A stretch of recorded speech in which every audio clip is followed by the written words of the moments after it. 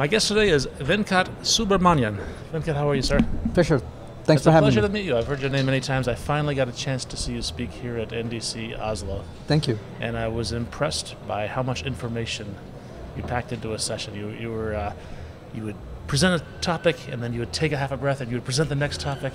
It was you had to I had to be paying attention. um, you sp- you spoke about uh, JavaScript in the last session. Tell me about the session.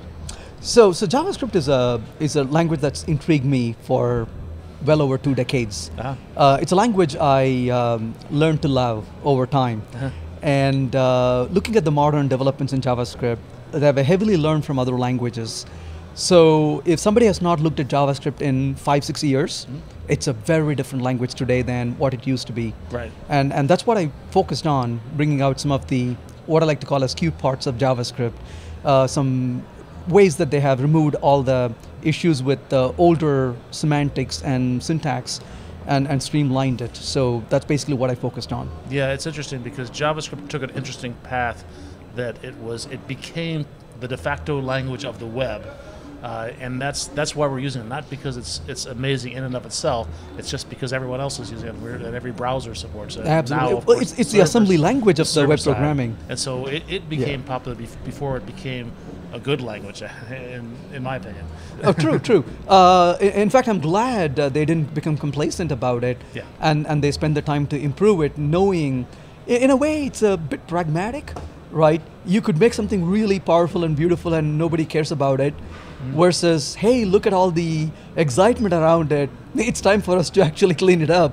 Right. So, so I think uh, you know, I think the second way has more success. Uh, in, in this case, you can't argue the success. It, it certainly in the browser wars, Sure. it won. Absolutely. And now it's starting to take over the server as well. So You bet. Yeah. Uh, tell me about some of the, the features that are interesting and people maybe don't know about. Yeah. So, so one of the things I talked about to begin with was to really focus on const. Uh, I see a lot of developers moving into modern JavaScript still use let, uh, and my emphasis is we should use constant instead of using let, because constant gives us much more uh, safety uh, when it comes to immutability. Uh, reduces errors in code Okay. uh, makes the code easier to reason with. So, so that's one thing I recommend is to use const uh, instead of let, and where not possible, use let instead of var. Okay. Um, the other thing is, uh, you know, quit using arguments, instead using rest, and uh, they've now, done a what is REST? That was a new concept for me. uh, so rest is the uh, three uh, the ellipses that you use the three dots and uh, essentially you're conveying the fact a that you are receiving multiple arguments so it becomes self-documenting in the code and secondly unlike arguments which is not an array a rest argument becomes a array internally so you're able to use more powerful array methods with it than you could ever with arguments so it really a cleans up the code makes it a lot more intuitive Mm-hmm. at the same time also easier to work with as well so so again moving forward there is zero reasons to use arguments and uh, to start using rest Okay. I, both those things I think are uh, aspects that are popular in functional programming. It's, it's clear to me from not only that talk, but the talk you gave this morning that you're a fan of functional programming. Is that fair to say? It, it, it is. I'm, I'm definitely again. That's another thing I've grown to really get used to. Um, I spent decades programming in imperative style, Uh-huh. so adopting functional style was a was a lot of work for me. But uh, as I learned it, it dawned on me one of the main reasons for functional style of programming is it, it really removes the accidental complexity that we have in the code, and and because it removes the accidental complexity, uh, it becomes a lot more easier to maintain the code, even though it may take a little bit more effort for us to write it, mainly because we are so used to imperative style over the decades. Uh, so yeah, absolutely, I'm, I'm a big fan. In functional programming, we uh, highly recommend immutability. Right. And uh, well, JavaScript with a constant gives the ability to do immutability, but also going a little forward, things like uh, Redux. You know, Redux is completely built on this principle of immutability. You are taking objects and passing them through pure functions, and you are getting, uh, you know, another copy of the object. But making copy of object can be really expensive. But because things are immutable, you're able to share the internals of the object. So, so when, when, it's, when you start using things like Redux, you again benefit from the functional mindset really nicely as well.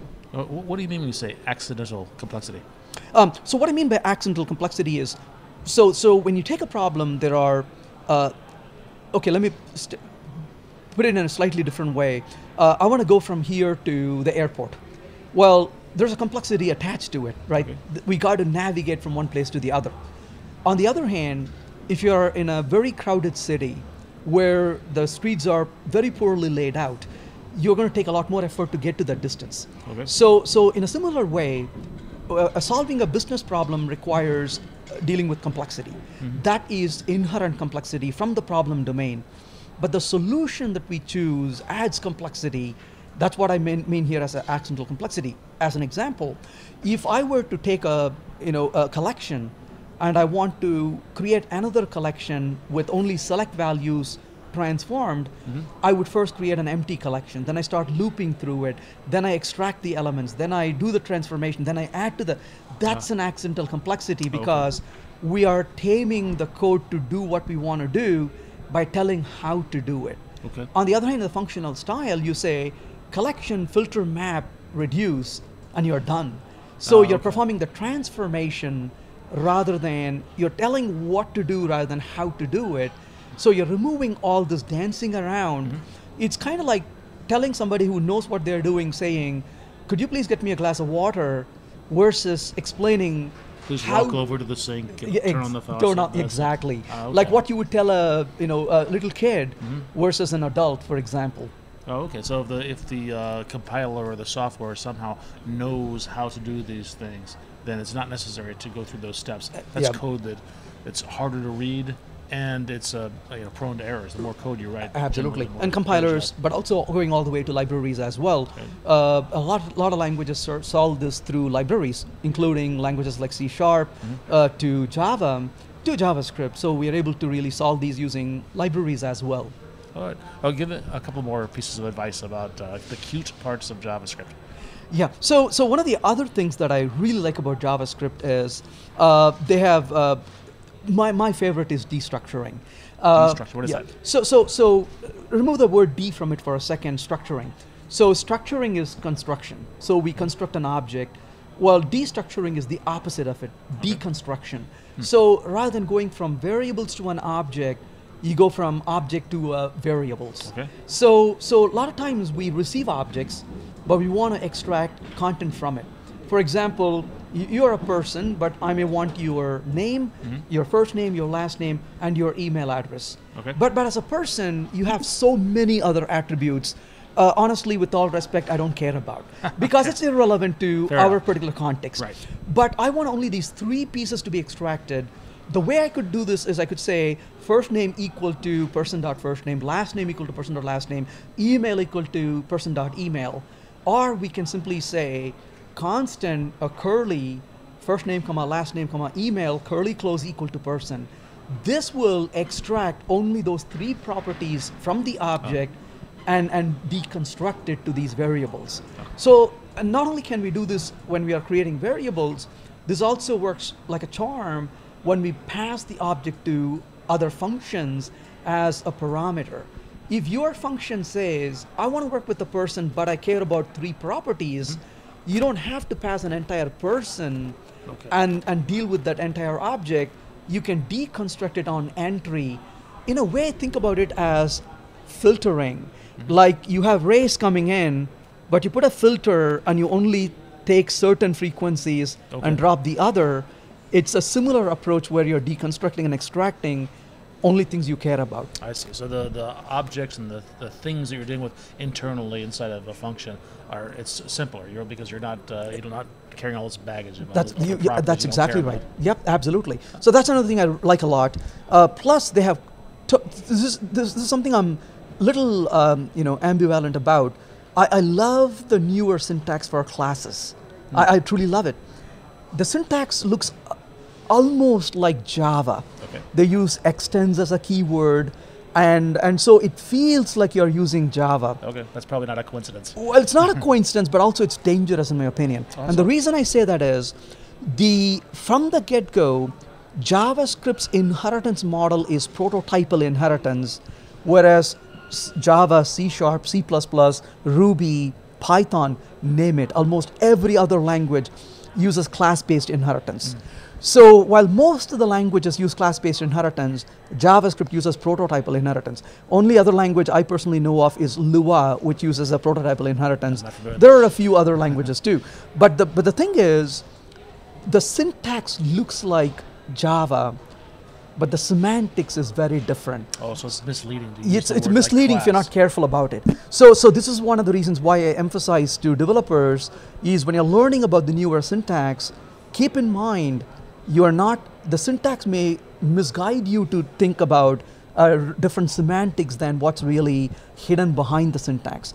So JavaScript has a elegant syntax, but a very different semantics. I love prototypal inheritance, honestly.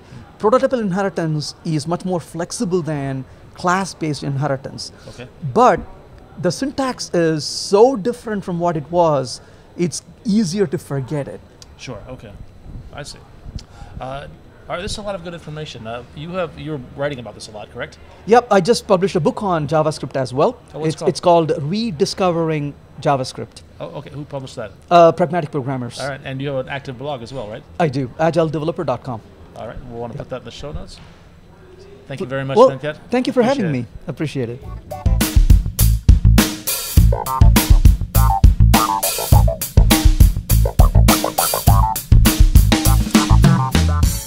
We're technologists. We write software. But one of the things I care about a lot is the economic impact of software. The cost of writing the code, but more important, the cost of maintaining the code. I'm just going to say friends don't let friends write bad quality code.